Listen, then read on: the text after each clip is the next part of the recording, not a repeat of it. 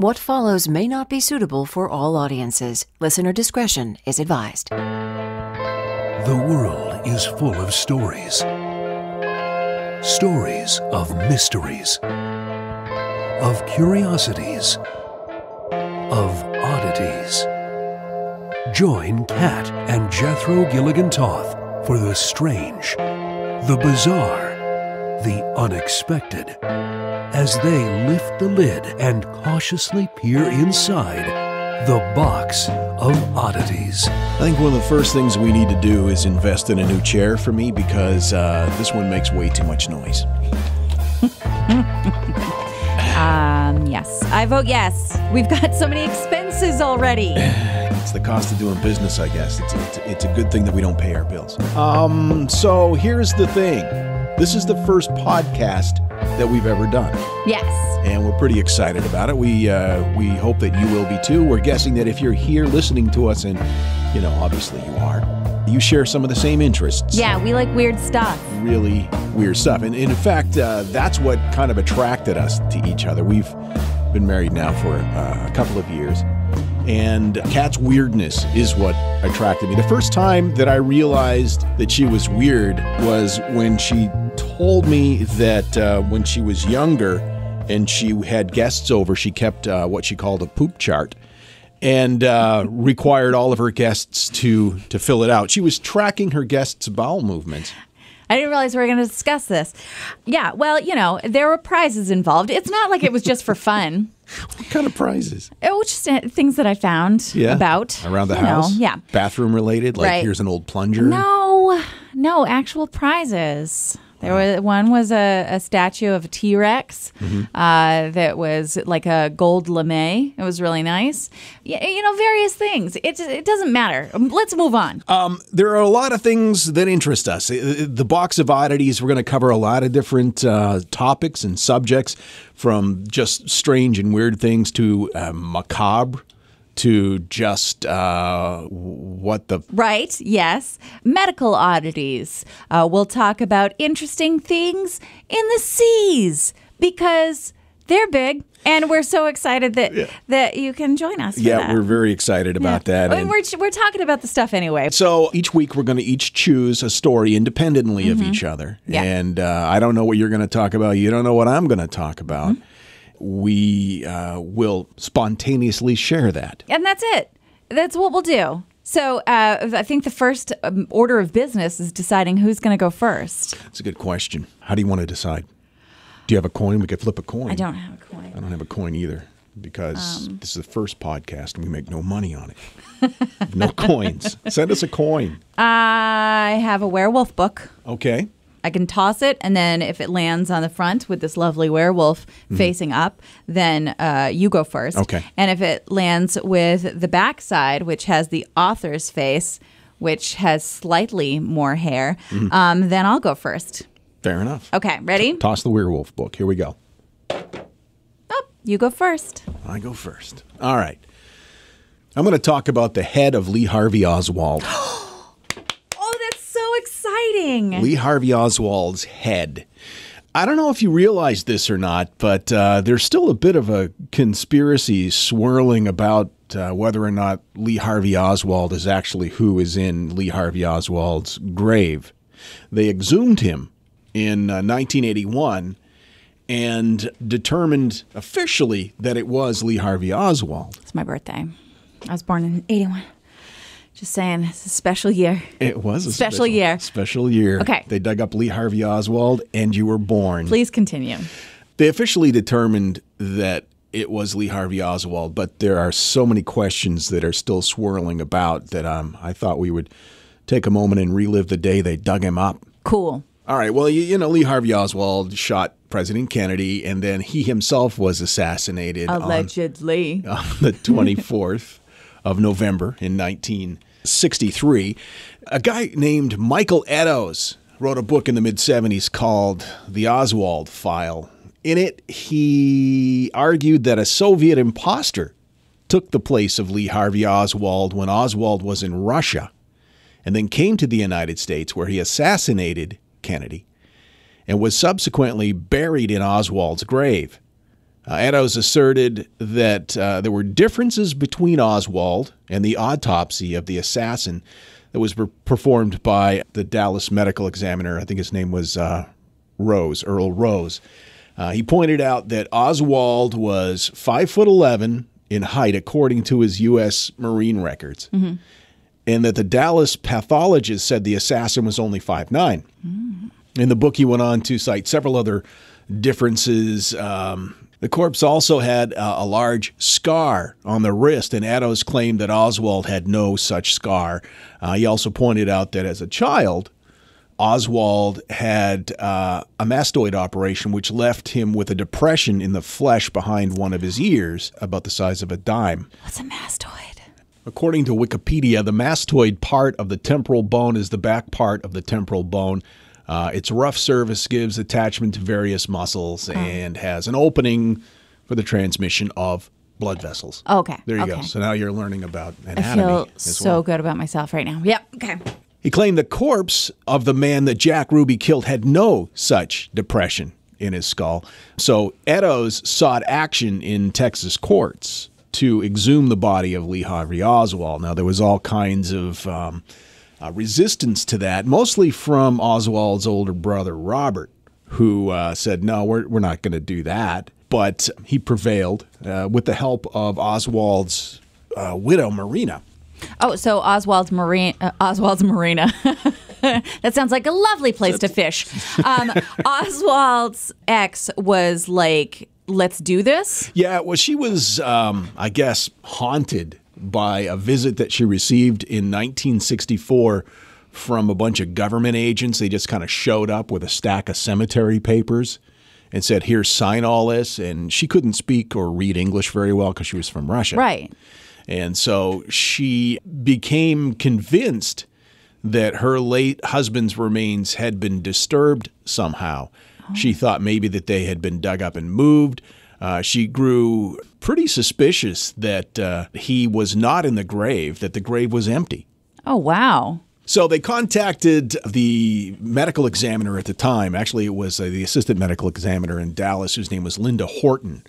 She was intrigued with this theory that it actually could have been Oswald's double. As am I, Linda. She said, I feel it's in the best public in- interest to conduct the exhumation. And this was according to the Dallas uh, Morning News. Quote, if there's any question and a reasonable question that science can resolve, then it is our business. Now, when Oswald was first pronounced dead, an autopsy was done. They did a craniotomy. They cut the top of his head off. Medical examiner Vincent Di Maio, who was involved in uh, the Oswald autopsy, wrote a book called Morgue A Life and Death. And in it, he talks about uh, what they did uh, with Lee Harvey Oswald after he was pronounced dead. According to the book, Earl Rose, who was the Dallas County medical examiner at the time, sawed open uh, Oswald's skull to find a completely normal brain.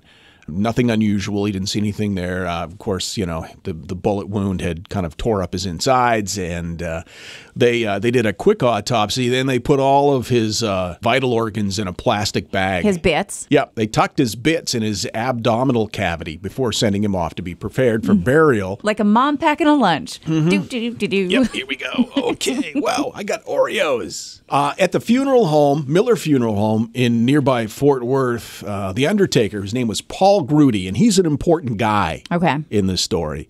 He didn't waste any time. He got right at it. He was concerned, and he, he thought probably in the future they would they would exhume his body for some reason. Sure. Oswald's body. So he gave Oswald's body a double dose of embalming fluid to keep him Fresh. fresh. Then he dressed him uh, with uh, clothes off the uh, funeral home rack. They have like stuff. Sure. He, Lost uh, and found items. yeah, pretty much. yeah, yeah. Um, he put white boxers patterned with little green diamonds on Oswald, some dark socks, a light shirt, a thin black tie, and I guess a like a cheap brown suit. And and then he was he they charged uh, Oswald's family forty eight dollars for that. I can't just go giving that stuff away. No. So fast forward to uh, 1981, October 4th. Now, this is according once again to Vincent Di Maio from his book Morgue A Life and Death. He said, uh, Before the sun rose on October 4th, we stood by the killer's grave, unseasonably muggy morning, and we dug up Lee Harvey Oswald. Or somebody. Just to be sure America had buried the right man back in 1963. Now, here's how he described it. He said the vault was cracked, which allowed water to seep in. The casket inside was rotting, was brittle, and was splotched with uh, mildew and stains. The handles that were metal were badly corroded. Part of the lid over the cadaver's upper body had caved in. He said that at that point they could look inside and see that there was somebody inside. Somebody. Don't you want somebody to love? Oh, that's gross. Uh, the decaying lid of Oswald's casket, uh, they said, was likely damaged by the gravediggers removing the cracked vault when they pulled it up out of the ground. Likely, but not for sure, They're- right? They're not. Well, they don't know. Mm-hmm. As they opened it, uh, the smell of moldy dirt and mildewed wood and rotting flesh emanated from the box uh, in like uh, like a cloud that just kind of pushed people back. Sure, as it will. Forensic pathologist uh, couldn't ignore that, and uh, some of the civilians that were nearby backed off. The casket, the inside of it was just, uh, it was a mess. I mean, it had it had been less than 20 years, but still, because it had been so badly damaged. Oh, sure. I left a lawn chair out over the winter last year, and it was just, it was gross. We had to throw it away. That could be a whole new podcast lawn furniture autopsies. Patio wear gone awry. the uh, the muscles in the legs were, were long gone. His skin was just like kind of like parchment and shriveled around the bones. He was mostly skeletal. But they didn't really need the whole body, they just needed the head for identification purposes because they were going to check with his uh, his marine dental records. Again, quoting from his his book, he said, "With a scalpel, I sever, severed several rotting muscles and uh, dried tendons in the shriveled neck and detached the skull from the spine at the second cervical interspace, the upper neck. Um, and with very little force, just kind of pulled the head from the backbone. Um, snipped an embalmer's wire that held the corpse's mouth closed for the funeral, and the jaw came off in his hand.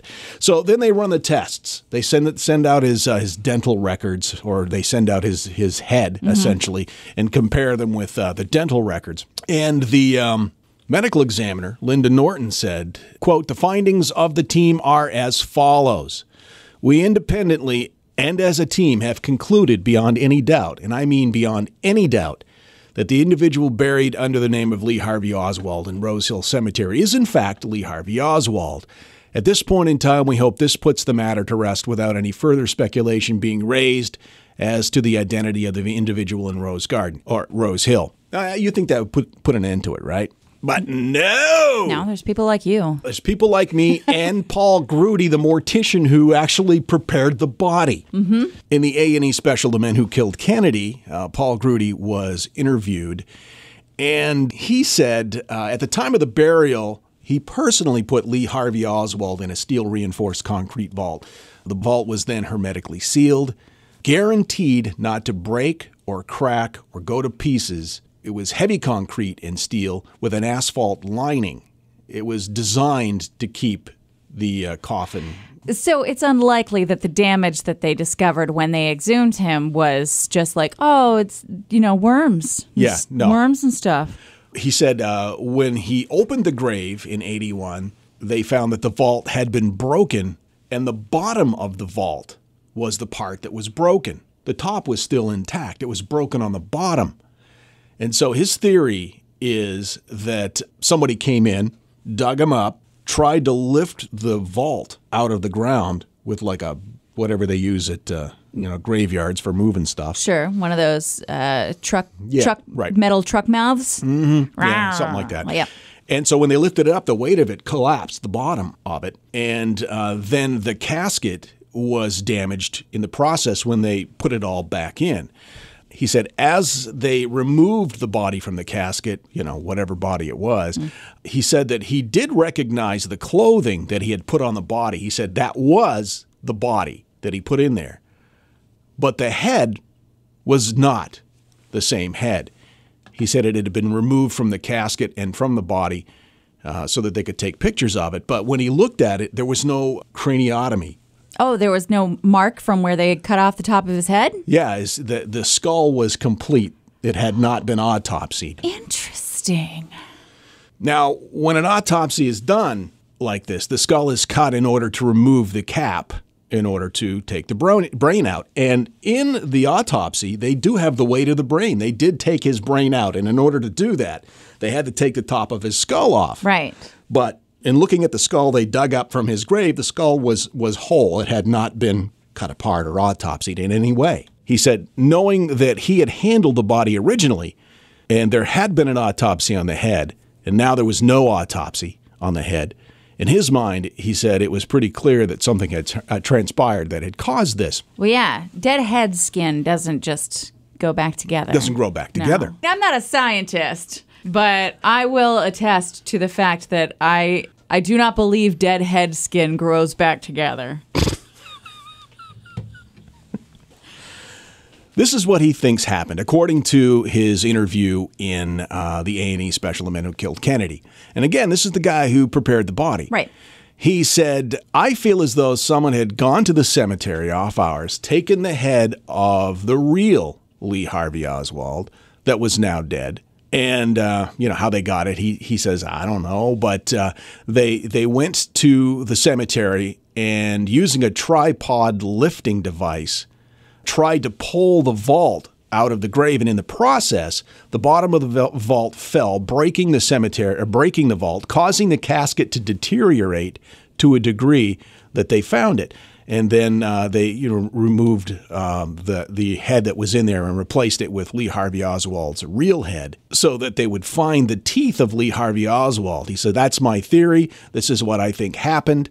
Uh, whoever caused that is the same faction that caused the assassin, assassination in the first place. In my mind, a cover up has taken place. Sure. So even though the official word still is, yeah, that was Lee Harvey Oswald's body, um, there are many people that say there's still a lot of unanswered questions. Now, one of the uh, guys, the medical examiners that was there, says that, as I mentioned earlier, he actually cut the head away from the body this guy says it was um, it was not attached to the body. So there's a discrepancy there. Sure, that doesn't make any sense. But what uh, really doesn't make any sense is why it was obvious that um, they did an autopsy on his skull in 1963 when he was assassinated. Why in 1981 the skull was whole and complete and had not been cut open. Plus, markedly shorter. Maybe that was the discrepancy in the height.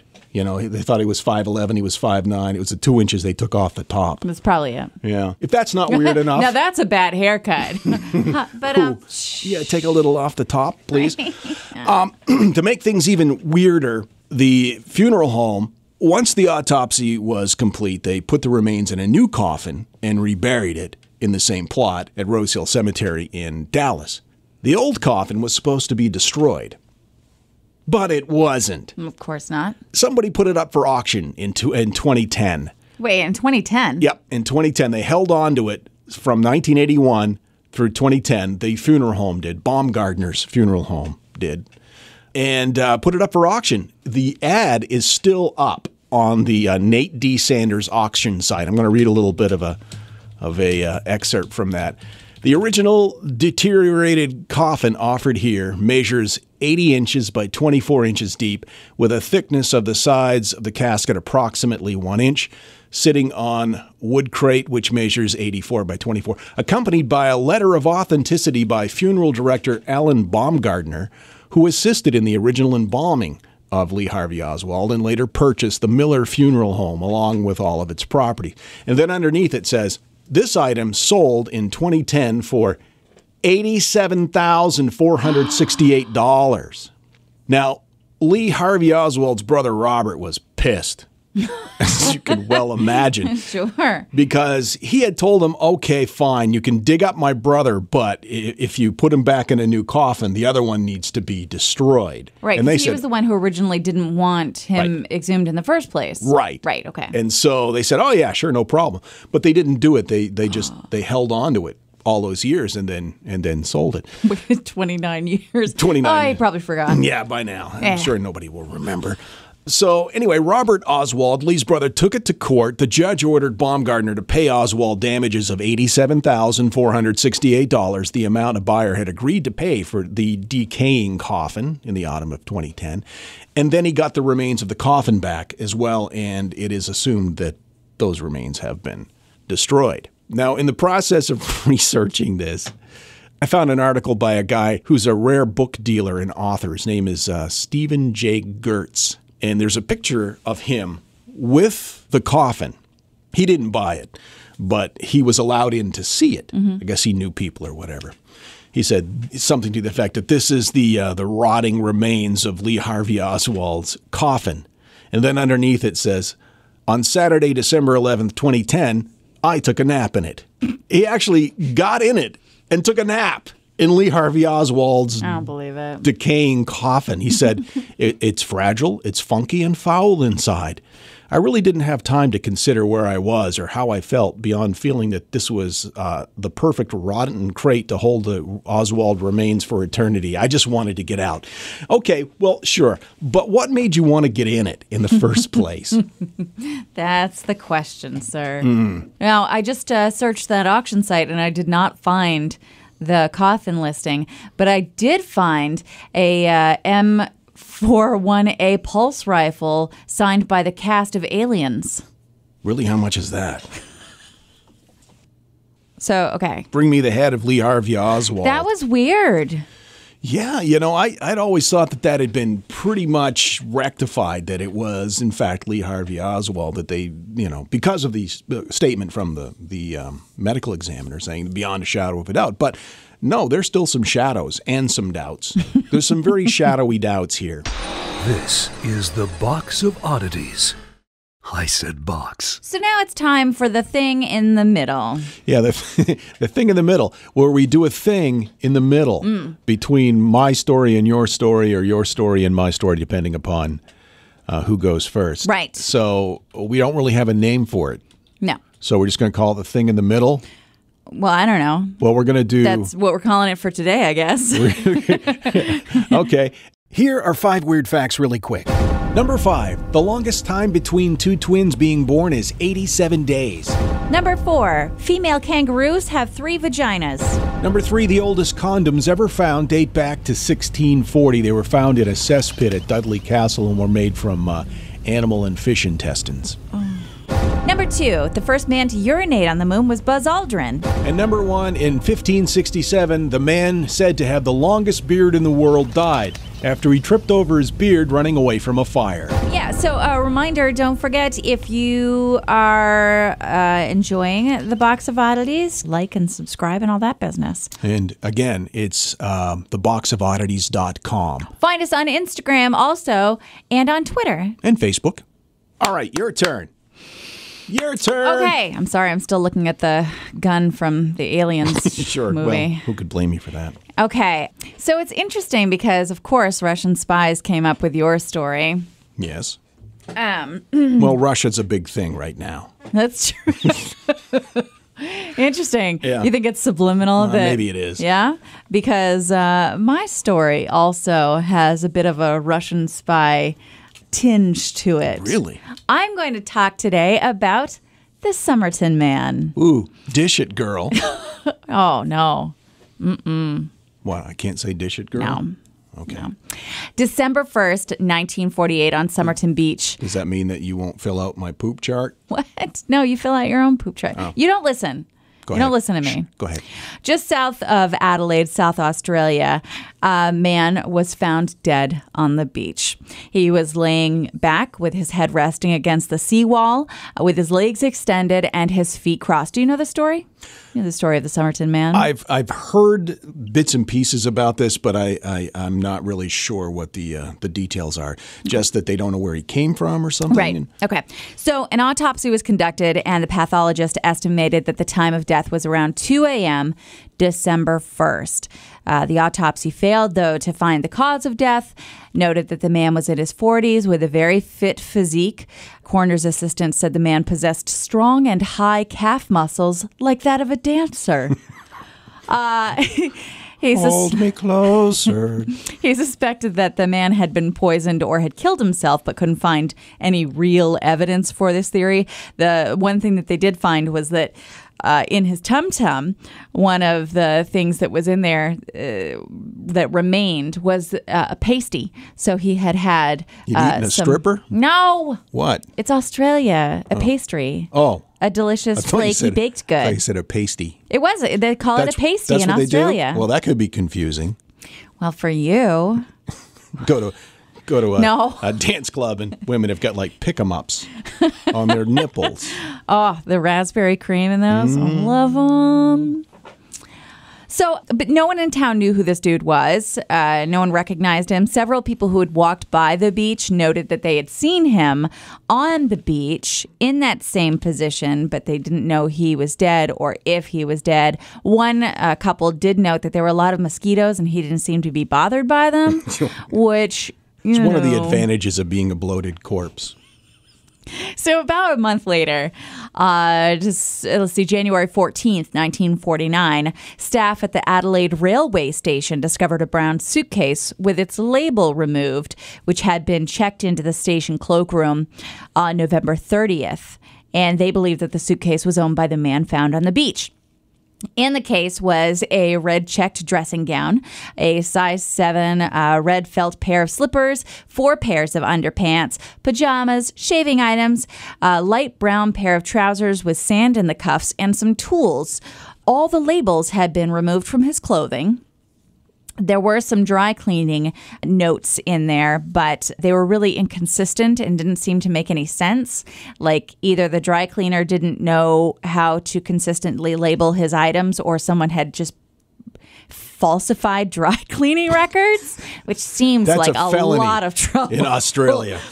So, a coroner's inquest into the death commenced a few days later, but um, it was adjourned until months later for some reason. The investigating pathologist re examined the body and made a number of new discoveries. Uh, it noted that the man's shoes were remarkably clean and appeared to have been recently polished, which seems weird for a guy that had been just wandering around a beach town. Did he wash up? Was he, were, was there No. water in his lungs? No. He, he just looked like he was taking a nap on the beach. Exactly. okay. The uh, evidence fitted in with the theory that the the body might have been brought to Somerton Beach after the man's death and set up against the seawall, but that didn't exactly make sense with rigor mortis and all of that business. But the pathologist was kind of confused because there wasn't any poison, but the way that he was found dead made them think that it might have been poison. Eh, it was real confusing for them. So it was right around this time, months later, uh, that a tiny piece of rolled up paper was found in the fob pocket sewn within the dead man's trousers. So, The fob pocket, that's that That's- little tiny pocket. right, it's a little pocket that doesn't make any sense. Doesn't make any sense Right. at all. So in- harkens back to the days of yore right. when people had fobs.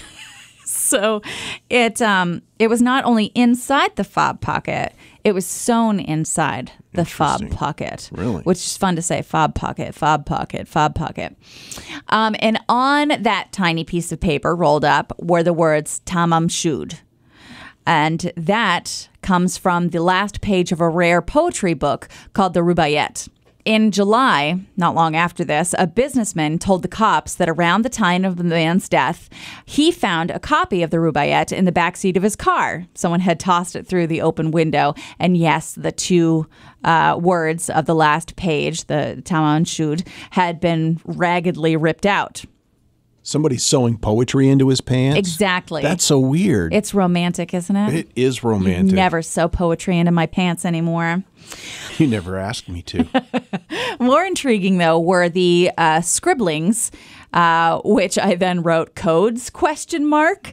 Codes such as W R G O A B A B D, uh, W T P I M B A N E T P, and so on and so forth. Maybe Uh, they're just really bad um, vanity plates. you think so? Yeah. I don't know. I don't know much about Australian vanity plates, but no, that doesn't make any sense because none of them end with so and so's mom. Boompa and Mimi. Dan's girl. And then, uh, in addition to the codes, was a phone number. Um, the phone number uh, led police less than a five minute walk from the dead man's body where he had been found to the doorstep of a young woman. And she told police that she was married. However recent investigations revealed that she was not married until 1950 she also told police that she was nurse although new findings show that she had not completed her nursing training. And uh, she was invited to take a look at the bust of the man that had been molded before he was buried Oh, okay. I thought you meant like his chest size. And now we're back to the pasties again. man you keep going back to those nipples What's your point? Depends on how cold it is in here. but uh, I need to stop with that. No more. So the woman checked out the bust and apparently, according to uh, the police, nearly fainted when she saw it, but claimed she didn't know who the man was. And, Really? And police were like, okay, cool, I guess. And then they ceased further inquiry. And They just let her walk out. And, yeah. Yeah, okay. Yeah. Also, they agreed for some reason not to release her identity to the public. Um, which is very strange. But in 2013, her daughter came forward on a television documentary, and her real identity, Jessica Jo Thomson, was uh, public. She was generally known as Jess Harkins, and then after 1947 as Jo Thomson, which seems interesting to me. But you know, whatever. I don't make, I don't judge people based on their uh, incredibly frequent name changes. Anyway, police had asked Jo whether she had given away a rubaiyat recently, the, the poetry book. Right. Because they wanted to find connections here. And she indeed had given away a rubaiyat recently. But then when they tracked it down, the recipient turned out to be alive and well, and his book was intact. That's so weird. So it What does all this mean? it transpired I don't know. It transpired that Jo Thomson's son, Robin McMahon, ended up becoming a professional ballet dancer. He had extraordinarily strong calves, apparently. Also compelling is that he and the Somerton man share a rare dental trait. They both have their canine teeth next to their central teeth, rather than uh, one more out here. You here. can't talk about your teeth Uh-huh. without touching them, I've noticed. I'm just showing you. That's another thing I love about you. Moreover, there's a rare feature of the ear shape that both men share. In, in 2011, students from Australia's University of Adelaide took to the case of the Somerton man, and a man named Daniel Abbott, who is a biomedical engineer at the university, studied the mystery for seven years. They worked on trying to decode the letters that were scribbled inside the rubaiyat and uh, found a few bits that might have led to an eventual code, but it didn't pan out.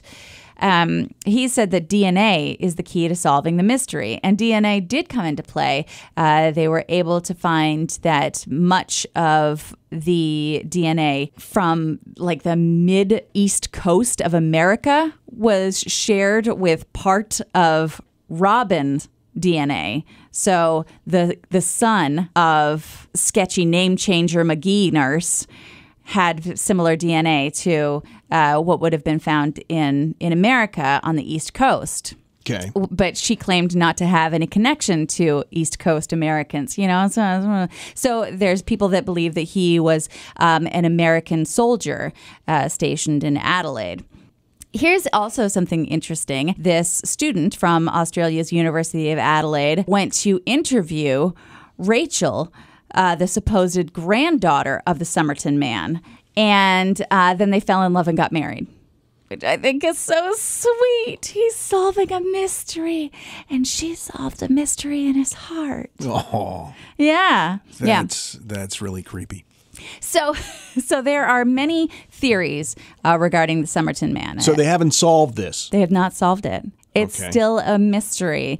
They don't know who he is or or what the significance of the Tamam Shud is. Um, there are ideas that he might have been a Russian spy, um, which has really uh, ebbed and flowed no, what's the word? Ebbed and what's the ebbed and waned?